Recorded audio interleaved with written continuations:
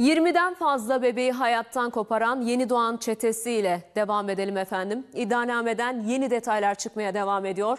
Polis dinlemesine takılan tapelere göre hastaneler çete üyelerine 60 bin lira maaş bağlayıp bebek başına da biner lira değer biçmiş. O eli kanlı çete SGK'dan daha çok para almak için ölen bir bebeği 3 gün daha sağ göstermiş. Tüm bu sarsıcı detayların yer aldığı iddianame mahkeme tarafından kabul edildi.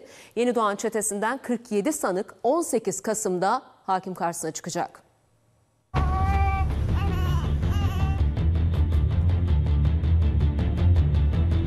Onun aklından şöyle bir şey geçiyor. Sana direkt 60 bin verelim, vaka başı 1000 TL verelim diyor.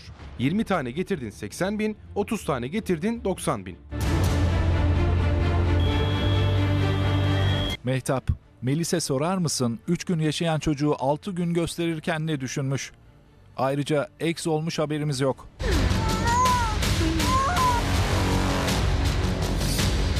Yeni doğan çetesi 3 gün yaşayan bebeği SGK'yı dolandırmak için 6 gün yaşamış gibi gösterdi.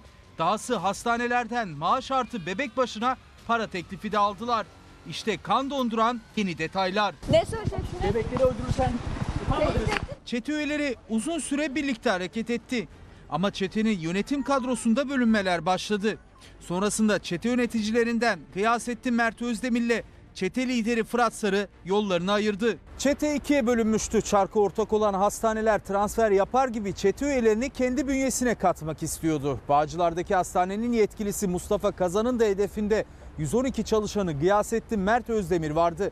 Kazan Özdemir'e akıllara durgunluk veren bir teklif götürdü. Cem Bey ile görüştüreceğim seni. Onun aklından şöyle bir şey geçiyor. Sana direkt 60 bin verelim, vaka başı 1000 TL verelim diyor. 20 tane getirdin 80 bin, 30 tane getirdin 90 bin.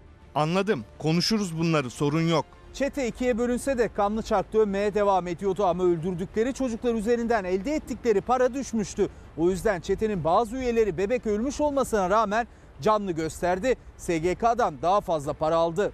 Mehtap, Melis'e sorar mısın 3 gün yaşayan çocuğu 6 gün gösterirken ne düşünmüş?